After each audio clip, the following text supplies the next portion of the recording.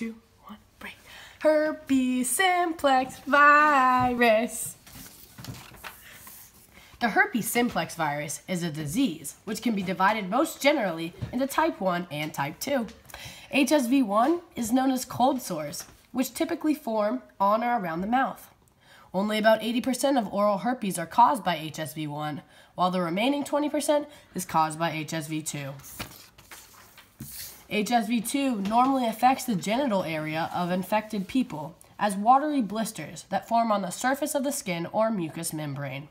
HSV2 is commonly referred to as just herpes. The structure of the viral viral virus is the same for HSV1 and HSV2. The linear double-stranded DNA is enclosed by a viral capsid.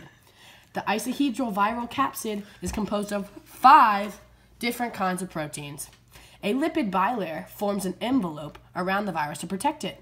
Many glycoproteins attach to the outside of the envelope to help the virus to interact with other cells within the body. Herpes simplex can be found all over the world, as it is one of the most common sexually transmitted diseases. About 3.7 billion people have this disease worldwide, and the number is always growing. About 58 million women and 61 million men are infected annually. Although you cannot die from herpes itself, contracting this disease can make you much more prone to getting viruses like HIV. Herpes is found in the mouths and genitals of humans, but in rare cases, some non human primates can be infected in captivity. The contraction of herpes occurs through the exchanging of bodily fluids from an infected person to a non infected person. This can most commonly occur through sexual contact wink, wink, and kissing. In the body, herpes simplex virus can affect a variety of tissues and organs. The virus itself lies dormant within the bundle of nerves at the base of the spine. When the virus awakens, it travels via nerve pathways to the lower layers of the skin, where it can cause outbreaks on the genitals, buttocks, anus, and mouth. HSV can also afflict the brain in its encephalitis form, one of eight HSV forms that affects humans. The virus can remain latent in white blood cells, the kidney, the secretory glands, and other tissues. The pathogen inflicts damage in the form of painful, fluid filled blisters, such as cold sores or fever blisters. The damage is inflicted when the virus is awakened. Overall, HSV can lead to systemic infections, gingivostomatitis, and encephalitis. Significant emotional damage can also be noted. This virus will begin 2 to 12 days after contact and show up in the form of pimple like clear vesicles containing infectious viral fluid. 7 to 10 days after primary infection, the blisters will begin to heal without leaving scars. As the crust from the blisters falls off, the virus remains and spreads in the, per- the peripheral nerves, where it enters its latency period. Once the disease affects the body, the activation of T lymphocytes by the virus, which includes the release of potent cytokines and mobilization of macrophages, will attack the virus and the host, causing vascular and tissue damage. Some of the symptoms and signs of HSV include tingling, itching, burning, sores around the infected area, problems urinating, eye infection, or flu like symptoms like fever, muscle aches, or swollen lymph nodes. Some cases of HSV will not show any signs or symptoms because the virus can remain dormant within the neural cells. Once the herpes virus enters the body, it never leaves.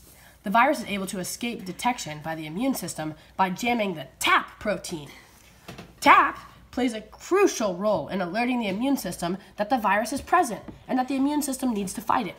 By jamming that TAP protein, herpes can hide from the immune system because it is never alerted and therefore never detected. There is no cure for herpes, nor is there a vaccine, but there are some medicines that are able to suppress the symptoms, such as Zovirax, Famvir, and Valtrex. These work by stopping the reproduction of the virus so that it cannot infect more cells. It stops replication by stopping the action of DNA polymerase. As for prevention, the methods are standard with, as with most other STIs. practicing abstinence or practicing safe sex through using condoms and having only one partner will make the passing of herpes much less likely. Additionally, a pregnant woman with herpes is at risk of passing it to the child. So it is crucial that pregnant women get checked before delivering that baby to prevent the contraction of herpes to the child. People with herpes are stereotyped as being dirty or monstrous.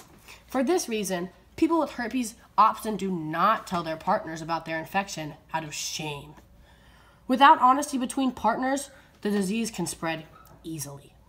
Society's views on people who have contracted herpes simplex has hindered research on this disease. No celebrity wants to advocate for herpes because of the reputation it will set for them in the media.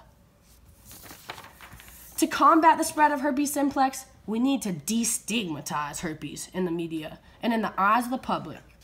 When people can have open conversation about their sexual history in regards of what STDs they've contracted, we can prevent the spread of these STDs. With genital herpes, using physical protection like condoms will prevent the spread of the virus between partners. So remember, slap on a latex to prevent herpes simplex. Thank you.